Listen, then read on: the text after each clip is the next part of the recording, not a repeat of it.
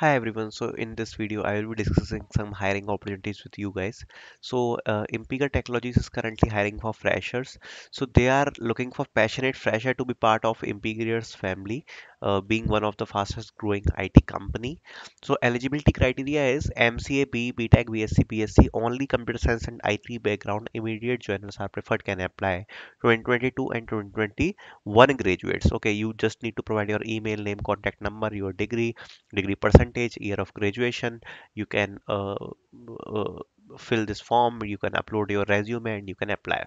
Other hiring opportunities from Moody, they are hiring for analytics graduate program, associate programmer analyst MAI. Location will be Gurgaon. This is for 2023 batch.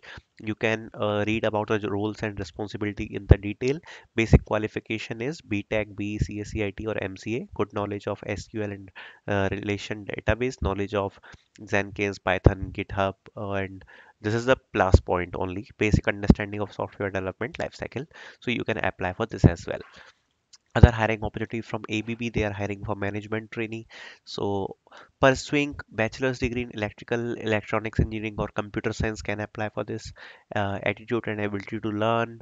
B BTech students graduating in 2022 aggregate and 12th or previous semester should be 60% and above.